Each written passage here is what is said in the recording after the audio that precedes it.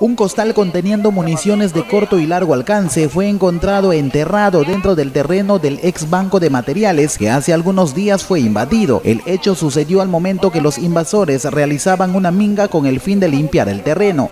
Ya estaba acabando, había basura todo. Y justo me doy la sorpresa de un costal. Y un costal le, jalo, le jalo y empieza a regarse las, municiones. Ante lo sucedido, los invasores de inmediato dieron cuenta a la central telefónica de la Policía Nacional, quienes después de algunos minutos llegaron a verificar el hallazgo. En tanto, los posesionarios manifestaron que también encontraron varias prendas femeninas y algunas partes de vehículos motorizados.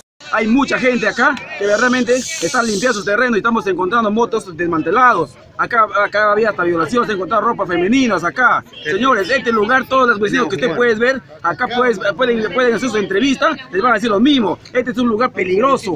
El terreno invadido está ubicado a pocos metros de la sede central del gobierno regional de Loreto, lugar donde encontraron más de 400 municiones de corto y largo alcance. Mientras realizamos la entrevista a uno de los posesionarios, nuestra cámara captó el momento preciso cuando una mujer cae a un buzón situado dentro del terreno invadido, cuya tapa no soportó el peso por el deterioro de muchos años que estuvo enterrado.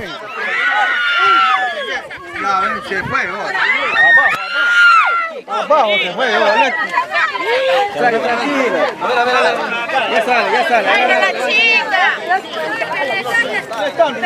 Mira, ve. Peligroso, ve. Está por acá, ve. ¿Ah?